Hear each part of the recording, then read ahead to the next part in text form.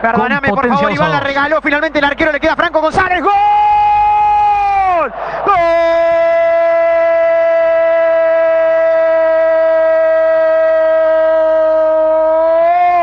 de Peñarol Franco González. ¿Cómo le puedo describir lo que acaba de hacer?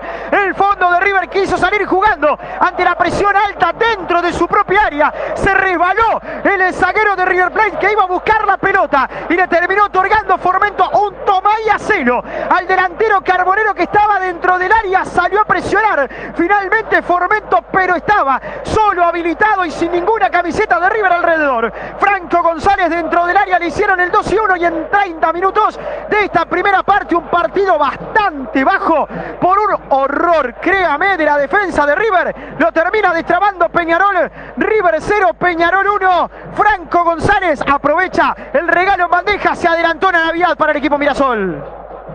Hace rato que estaba saliendo jugando el equipo de River y se estaba regalando la defensa y en este caso es un horror lo que termina realizando y deja regalado también al arquero, a Formento. Estaba bien atento Sebastián Rodríguez que pudo haber rematado él, que finalmente ve más adelantado a Franco González y que se la deja en bandeja para abrir el marcador para el 1 a 0 y para empezar a dominar el partido. Gana Peñarol por un tanto contra cero a River.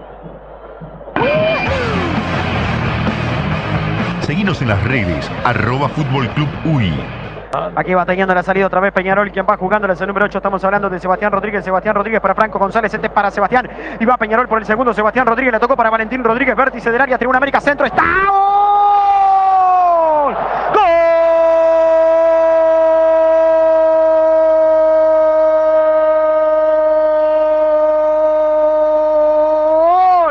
Peñarol. Camilo Mayada ingresó en el centro por parte de Valentín Rodríguez. Permiso no correte, levantó sus manos. Mayada para marcar el pase y hacia el 16 fue la pelota que saltó como una exhalación para colocar de golpe de cabeza el segundo tanto de la jornada. Debo reconocerlo. Me quedan dudas de la posición del 16 a la hora de recibir el pase. Lo importante es que en este momento, por ahora, y Selvar no dice nada raro. River 0, Peñarol 2 en 4 minutos. Laura Peñarol le trago un partido complejo.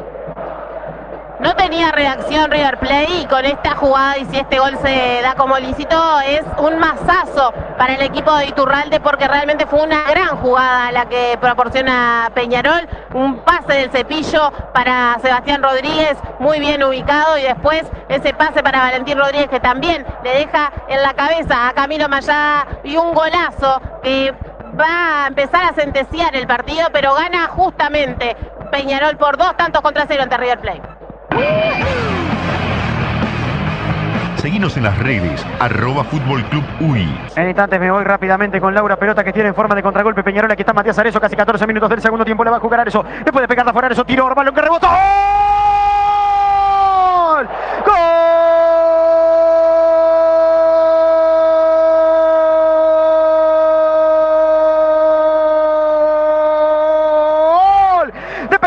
Matías eso trasladó la pelota en contragolpe. Próximamente unos 20 metros desde la tribuna olímpica hacia el sector medio.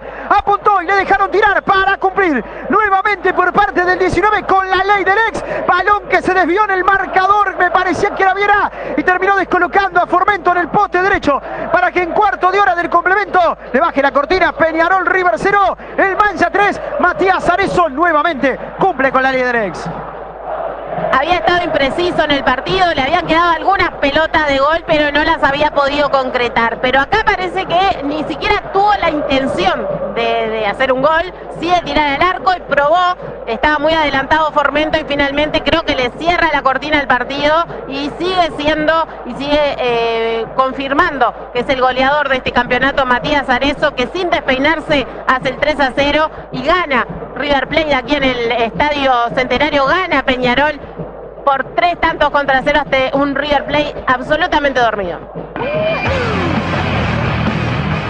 Seguinos en las redes, arroba.